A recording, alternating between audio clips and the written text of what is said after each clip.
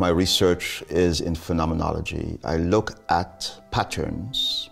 I look at not just cause effect dynamics, but the synchronicity of things. The distinction I'm talking about is between giving sacredness and making something sacred. Because my mind almost went to there, oh, so we have to make it sacred, but that's not it. So when I give attention, a reverse process happens in my attentiveness in which I become a witness that I'm giving. My sacred act is my attention. If I don't take responsibility for my sacred activity of attentiveness, the world appears finished. And if the world appears finished, nothing is sacred.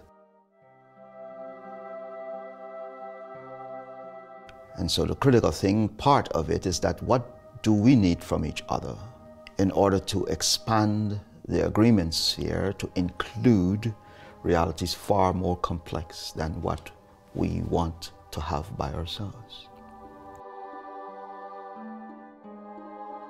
If I come upon someone that's crying and I want to know why, what laws of physics should I use? Do you take out a ruler and measure how far the tears are dropping? The rate of the tears? That's what I do. Sometimes the, the way of you know it is just give that person a hug. We're now articulating the memory of some of those things in a field we call artificial intelligence.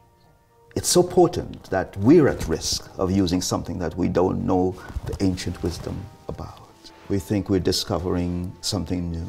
We're in a recapitulation of ancient times with a new application of things that we are now fascinated by. Part of Kyle's question earlier was, how do you know all this stuff?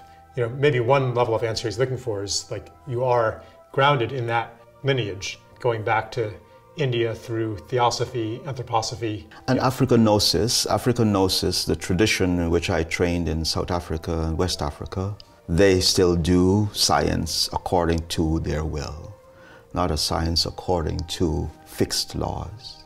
To them, there are no fixed laws.